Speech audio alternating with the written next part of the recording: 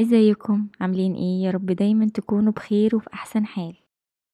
عجينة ال puff pastry من المعجنات السهلة والبسيطة. ممكن تعملي منها حلويات حوادق ممكن كمان نعمل منها أم علي. استخداماتها كتير جدا. النهاردة الفيديو بتاعنا هنعمل بيها حلويات بس.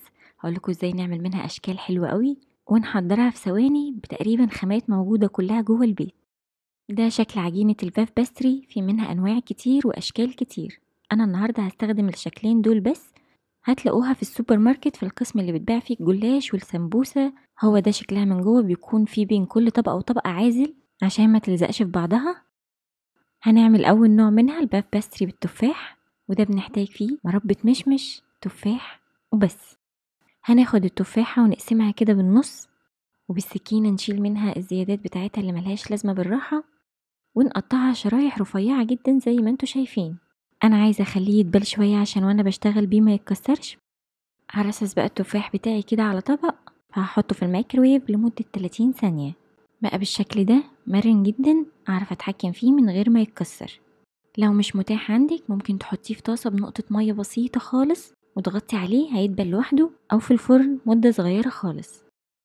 وأخدت عجينة ال puff pastry وحاولت أعمل فيها حاجة أجربها معاكم في الأول أخدت قطعة وفردتها كده عشان تكون أخف شوية. ودي استخدمتها زي ما هي بس الاتنين ادوني نفس النتيجة في الشكل فاستخدموها على طول زي ما هي. أخدت قطعة ال puff pastry بتاعتي وأخدت معلقة من مربى المشمش ودهنتها كده كلها زي ما أنتوا شايفين بالفرشة. وبعدين رصصت التفاح بتاعي على شكل نص دايرة كل شريحة فوق الشريحة التانية. وهعمل منها صف تاني في الجزء اللي تحت كل شريحة فوق الشريحة التانية حاجة بسيطة. هسيب أول طرف العجينة وآخرها فاضيين عشان أعرف ألفهم roll. بعدين هبتدي ألفها roll بالراحة خالص. لحد ما يوصل معايا لشكل الوردة الحلو ده. ودي هسويها في صينية الكب كيك لأن عجينة ال puff pastry لما بتستوي بيزيد حجمها شوية. فعشان ما نضيعش الشكل أحسن في صينية الكب كيك. النوع التاني عندي وده هنعمله بأي جبنة كريمي. هناخد معلقة من السكر البودر ونحط عليها معلقة من أي جبنة كريمي أو حتى قطعة جبنة كيري.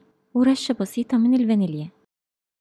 نخلطهم على بعض وناخد الشكل التاني من عجينة ال puff pastry ونبدأ نشكلها أشكال زي ما أنتوا شايفين. هناخد القطعة ونحتفظ بالعازل اللي تحتها عشان وإحنا بنحركها ما تلزقش ويكون سهلة الحركة. ونقطعها كده الأول على شكل مربع في النص. بعدين ناخد الطرف ده والطرف ده ونلزقهم على بعض. ونحط عليها معلقة من التشيز اللي عملناها. كان عندي بلو بيري حطيت كده فواكه كده في النص بتدي طعم حلو قوي. وفي الصينية اللي هنسوي بيها نرشها أو نمسحها مسحة بسيطة من الزبدة ونبتدي نرصص القطع بتاعتنا. وأخدت واحدة تانية برضو قطعتها مربع في النص ولميت الأربع حروف بالشكل ده كده زي ما أنتوا شايفين.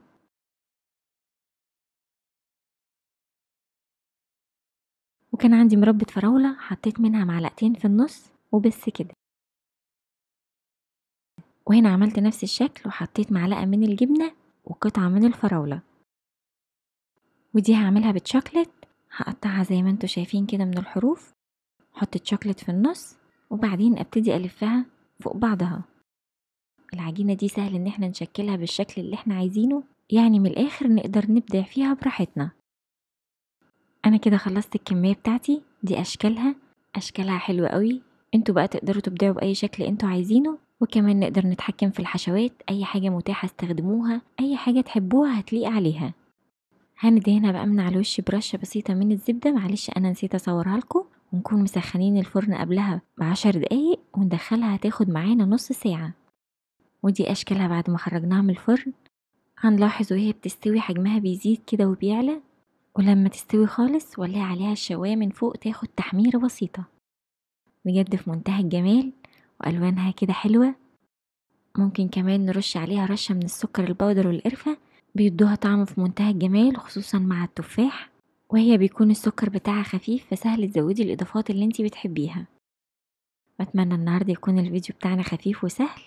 ما تنسوش تعملوا like و share و subscribe في القناة وتفعلوا زر الجرس وأشوفكم على خير الفيديو الجاي.